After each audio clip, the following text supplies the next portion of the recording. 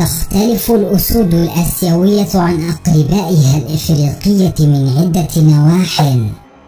فمثلا يمتلك الأسد الآسيوي فروا أشعثا أكثر من الأسد الإفريقي. وذيلا أطول وخصلات شعر أطول على المرفقين ومفاصل الكوع.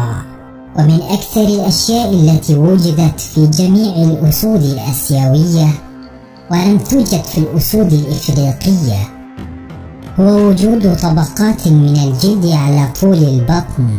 يفضل الأسد الآسيوي دوما العيش في الغطاء النباتي الكثيف في الهند ويوجد الآن في حديقة جيل الوطنية في ولاية غوغارات. وكانت هناك جهود مبذولة لانتقال عدد قليل من هذه الأسود الآسيوية إلى حديقة أخرى. محاولة منهم لضمان فرص بقاء أقوى لهؤلاء الأسود على قيد الحياة.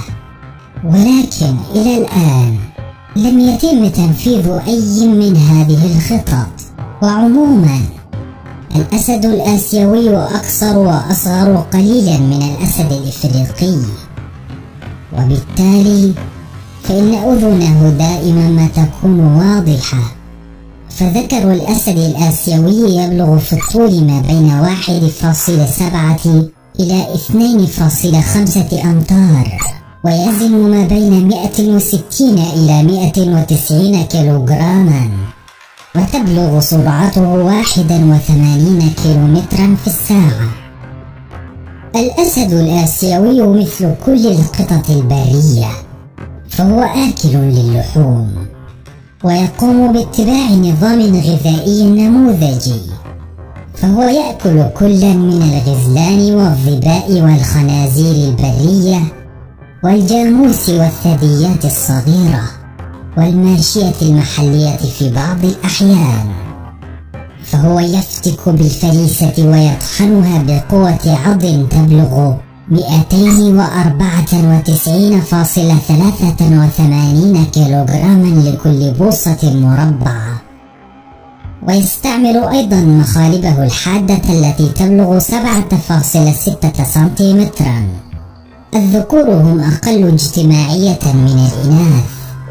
وعادة ما تكون الأسود الآسيوية غير نشطين طوال اليوم. حيث يقضون ما يصل إلى عشرين ساعة يوميا في الراحة والنوم؟ فمن المعروف أيضا أن ذكور الأسود الآسيوية كسولين والإناث هي من تفعل كل شيء يخص الصيد مثل الجاموس العدواني. ونادرا ما تحتاج الإناث إلى الذكور لمساعدتها على عملية صيد فريسة ضخمة جدا. النمر البنغالي النمر البنغالي أو النمر البنغالي الملكي. هو نوع فرعي من النمور موطنه الهند وبنجلاديش ونيبال وبوتان. وقد تم تصنيفه على أنه معرض للخطر من قبل الاتحاد الدولي لحفظ الطبيعة حيث يقدر أعدادها أقل من 2500 فردا. لون معطفه أصفر إلى برتقالي فاتح وتتراوح الخطوط من البني الغامق إلى الأسود. البطن بيضاء والذيل أبيض مع حلقات سوداء. يبلغ إجمالي طول الجسم بما في ذلك الذيل للذكور. ما بين 270 إلى 310 سنتيمترا ويبلغ متوسط وزن الذكور. 221.2 كيلوغراما. وتبلغ سرعته من 49 إلى 65 كيلومترا في الساعة.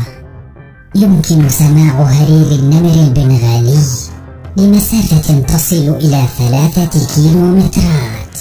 النمور آكلات للحوم. إنهم يفضلون صيد الحيوانات الكبيرة ومتوسطة الحجم. مثل الخنازير والغزلان واللانغور الرمادي.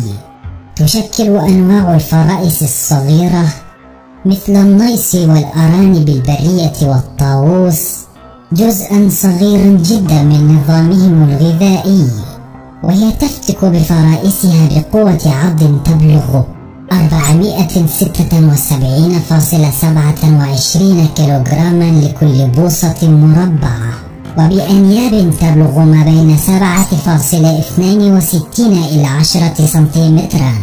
ونظرا لتعدي البشر على موطنهم فإنهم أيضا يفترسون الماشية في المزارع.